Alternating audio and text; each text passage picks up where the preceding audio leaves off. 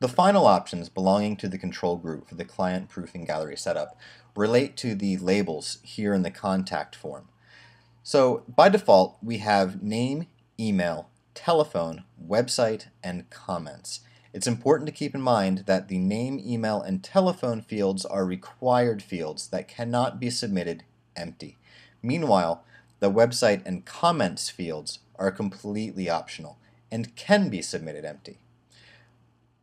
If the client tries to submit the form without filling in those first three fields, they instead receive this warning, can't be empty, and will not be able to submit the form until they fill information into those fields.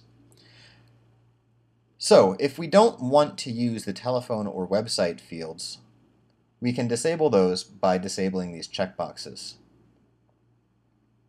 The name and email fields are required in order for the form to work, so they cannot be disabled, nor can they be repurposed. They should be the name and email address of the person submitting the form.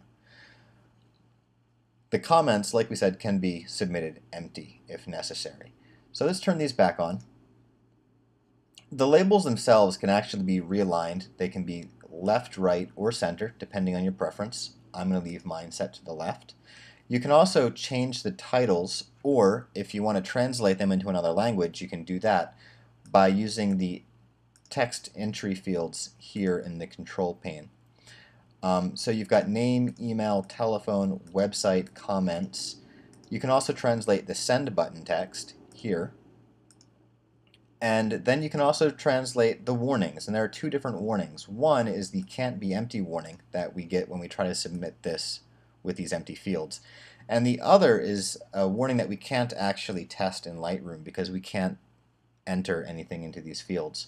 But it's an invalid email warning, so that if the information they put into the email field is not actually formatted as an email address, um, then they're going to receive a message warning them that it must be a valid email address. So you can change that warning here.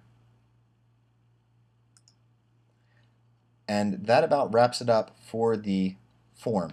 So what we're going to do in the next video is actually take a look at a live selection gallery or live client proofing gallery so that you can see how to bring the information you receive from that gallery back into Lightroom in a useful way.